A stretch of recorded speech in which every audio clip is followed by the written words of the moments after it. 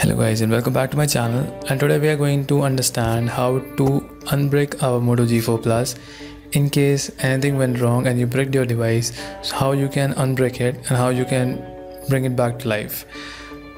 So ideally you can unbrick it via recovery you can always uh, boot into recovery and you can restore a backup which you took however if your device is not responding at all which happened to me once everything uh, the screen was blank and and I was not able to boot to bootloader or even into recovery to restore a backup or do anything else.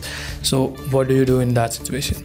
So we are going to work on it and we are going to see how we can bring the phone back to life. So let's get started. Okay, so to reproduce this brick uh, that happened to me, I have downloaded a previous version of the ROM stock ROM that we have. So the rule of thumb says that if you have upgraded to a version of a ROM, you should never downgrade. Like if you have updated to a version of Android 7.0, you should not go back to 6.0 because if you go back to 6.0 and you take an OTA for 7.0 again, you might break your device. That is a basic rule of thumb that you should never, you should always follow. Never downgrade. So that is a mistake which I did. I downgraded the device and I upgraded again. So it caused me this trouble which I'm going to show it right here. So I am going to flash this ROM, uh, the downgrade version of the ROM again, just to see if we can do something, we can reproduce that brick that I already had. Okay, so I have it here. I am going to change this to BAT so that, yeah, I'm going to flash this. Let's see if that can uh, create the brick on my phone. I am not sure whether it will. So as you can see the bootloader did not flash. Uh, if I can see here bootloader did not flash here since it was a downgrade let's see if we can work this out. Okay so the device is set up. You can see that I have a system update. I'm going to take it. And it's 40 MB update. Let's take it. It will take a little time to install. Takes one minute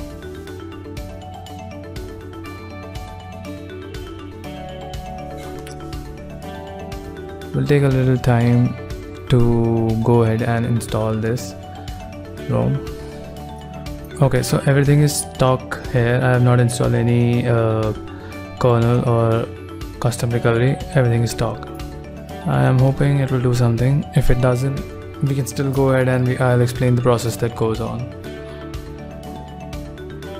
So I think it worked and my device is not able to boot anymore after that update. So that might happen with you as well if you downgrade stock.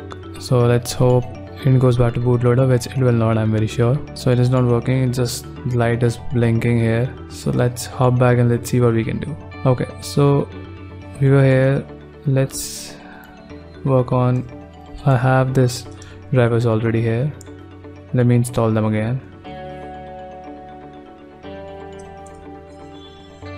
So since I already installed them they're ready to use and I'll finish it.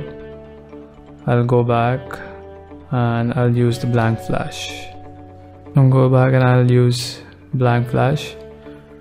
Not bad. Let's see if it can do something. If it doesn't move ahead I'm I'll, I'll try to press this power button once. Press and hold. Or press this.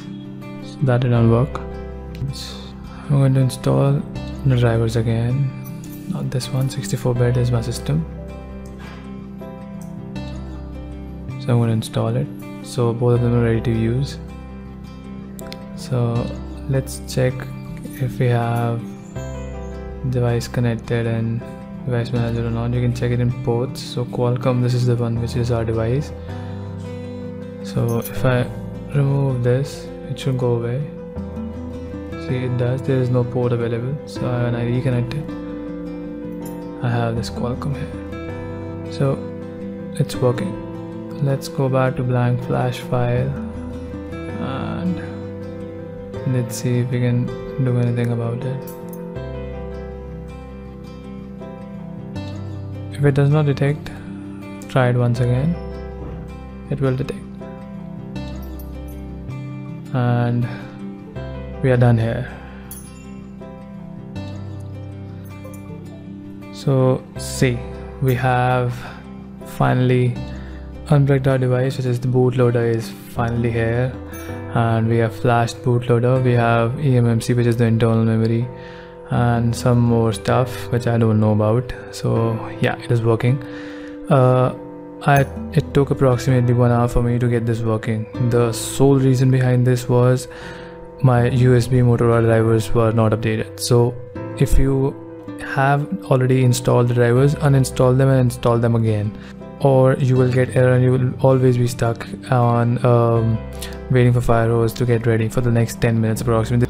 Okay so once the blank flash.bat has worked the screen looks something like that. And then what you need to do is you need to download the latest uh, firmware which is 2593.14.10 this is the very very latest one. So once you have downloaded this i will leave the link in the description. So extract all the contents here. It's approximately 2 GB so it's going to take a little time uh, about 45 seconds it says. So this is the blank flash actually actually worked and now we need to flash the partition. We cannot use any of the previous uh, versions of the stock OS because that will again downgrade the security patch version which will again break our device if we take another OTA so that is not going to work. So we need the latest one very very latest one. I was trying like for one hour the blank flash and I later on realized that I did not actually have the latest USB drivers installed. So before doing anything, before uh, uh, taking up this procedure, please make sure you uninstall the already installed uh, drivers of the Moto and install the Moto drivers again, Moto USB drivers again. So let's just copy all of this stuff into our ADB directory. No, that's a blank flash. Uh, okay. ADB directory. And once this is done, we are going to flash few um, just two commands of flashing needs to be done and then we can flash the ROM once everything is set so that we can complete this unbricking uh, video for our Moto G4 Plus device. It is a little hectic, uh, it, is, it is one of the most difficult videos I have ever had recording and it took a, actually it took a lot of time. This is the worst, worst case scenario that can actually happen and we have a solution to it finally. So yeah, this should work. This, this procedure will work will always work with your phone unless you have a, any hardware failure. So I don't think that there, are, there is going to be much of a problem with this. So I am just going to shift right click here PowerShell I'm going to open a PowerShell window and I'm going to flash fastboot flash partition gpt.bin so okay we have gpt image that's done. Next is going to be flash bootloader img once we have this and everything is installed let us reboot to the bootloader so yes we are back on and the bootloader is working again.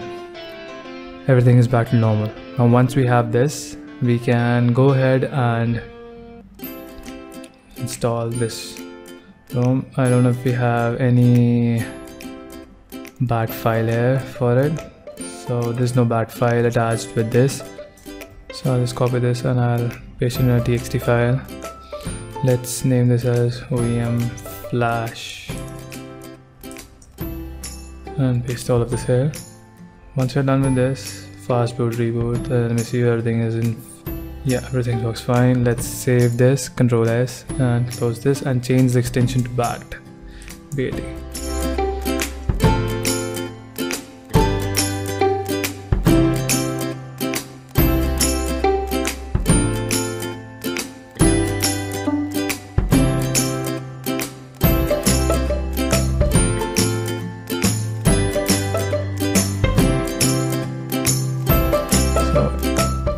almost done. It's just going to take a little while. Now the system is rebooting. So yep. We have moto g4 plus back on. Finally. It took a lot of time for me as well. I think I bricked it completely while making this video. But patience did work out properly. I will have great sound now. Here it is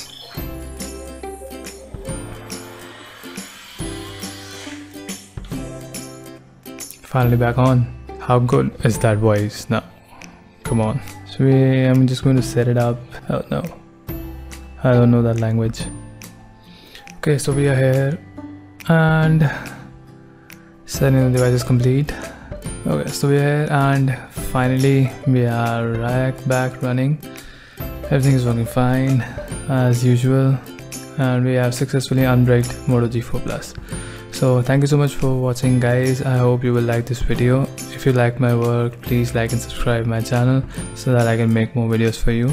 There are more things coming on your way which will be i will be explaining how to install Xposed framework over uh, moto g4 plus 7.0 so stay tuned. Thank you so much guys. Have a good day